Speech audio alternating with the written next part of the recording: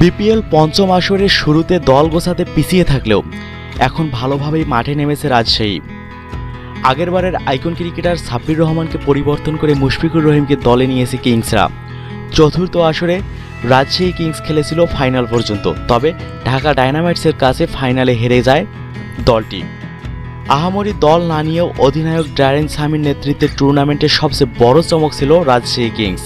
তবে এবারের আসরে সেমিকে পাচ্ছে না দলটি। গ্লোবাল টি টোয়েন্টিতে অংশ নিতে বিপিএল খেলছেন না এই ক্রিকেটার। তাই কিংসদের অধিনায়কের দায়িত্বে দেখা যেতে পারে মুশফিকুর রহিমকে। অবশ্য বিপিএল সিজন ফাইভে কিংসদের হয়ে মুশফিকুর রহিমের সঙ্গে সঙ্গী হতে পারেন কাজী নুরুল হাসান সোহান, মমিনুল হক, রনি তালুকদার, মেহেদি হাসান মিরাজ, আফিফ হাসান, রকিবুল হাসানের মতো ক্রিকেটাররা। এদিকে রাজশাহী কিংসে যোগ দিয়েছেন ওয়েস্ট ইন্ডিজের পেসার কেস্টিক উইলিয়ামস। বিপিএলের চতুর্থ আসরেও রাজশাহীর হয়ে খেলেছিলেন উইলিয়ামস। পঞ্চম আসরের জন্য কিংসদের সাথে নতুন চুক্তি সম্পন্ন করেছেন তিনি।